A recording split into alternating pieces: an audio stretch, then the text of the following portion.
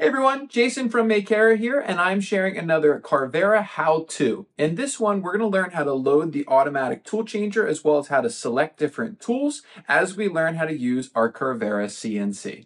Every Carvera CNC is equipped with a six-place automatic tool changer, meaning that you can preload six different bits as well as the wireless Z probe to make machining complex designs effortless. The Carvera uses both a laser and button homing system to ensure tools are in place and to get an accurate read on the bit lengths for high precision machining. You can load any bit into the tool holder as long as it has a collar pre-installed. The collar is what centers and holds the bit in place. Attempting to install a bit without a collar will not work.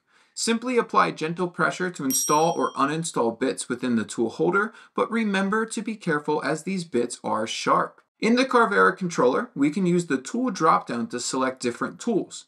Pressing drop will unload whatever tool is installed, and selecting probe will drop any bit that is currently installed and instead switch to the wireless probe.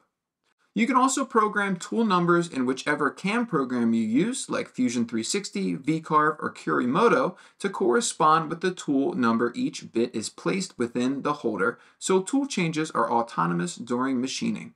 And that's really all there is to it. Thanks for watching, and don't forget to subscribe and check out the Makera channel for more how-tos and guides.